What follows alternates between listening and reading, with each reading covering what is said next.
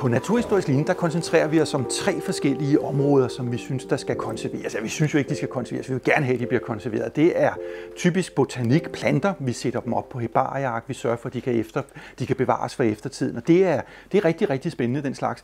Og, og så kommer vi jo altså også ud i felten for at samle nogle blomster og lære dem at kende og sådan noget, så vi kan identificere dem rigtigt.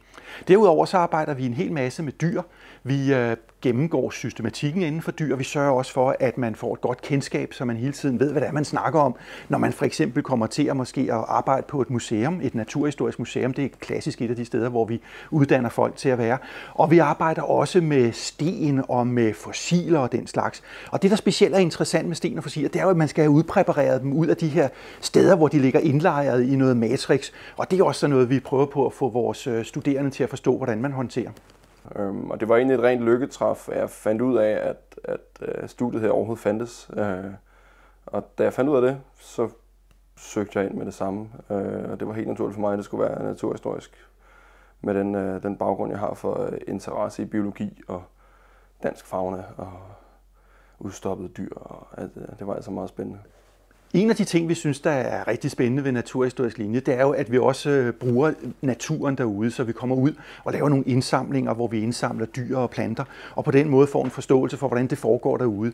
Og, og alt det her, det gør vi jo i virkeligheden igen, fordi at vi er med til at bevare alle de her ting, vi arbejder med for eftertiden. Det vil sige, når man, når man har nogle, nogle dyr, man gerne vil arbejde med, videnskabeligt for eksempel, så er vi med til at sørge for, at videnskabsfolkene faktisk kan få de her dyr at arbejde med dem, og også sørge for, at der er videnskabsfolk om 100, 200, måske 300 år, som kan få lov til at arbejde med de her genstande. Det er klart, at, at, at meget af det, vi, vi, vi arbejder med, der skal man have en viden, hvor man både kommer til at forstå det, sådan, hvad skal man sige, med, med sit hoved, men man skal selvfølgelig også kunne forstå det med sine hænder, fordi det er jo vigtigt, at man håndterer de her ting, vi arbejder med på den rigtige måde. Og vi sætter også meget stor pris på, at man har en, en naturhistorisk forståelse for de ting, man arbejder med.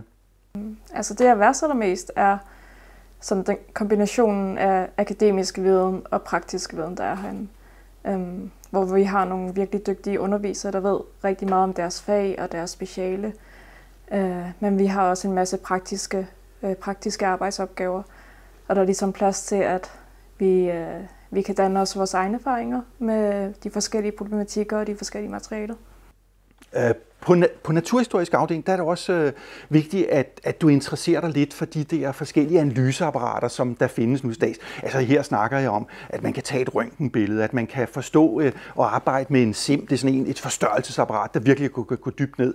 Og også andre former for apparater, sådan, så vi kan identificere måske de ting, der er brugt øh, i forbindelse med nogle af de øh, forskellige dyr og planter og sten, vi arbejder med.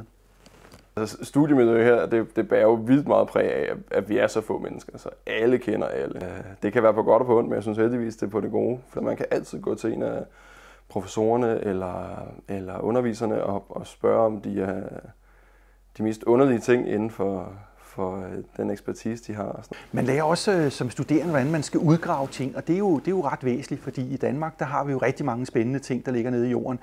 Øh, der er jo en hel del gamle dyr, som er, eller fra gamle tider, der er dyr, som vi ikke har længere, for eksempel uroksen og sådan noget.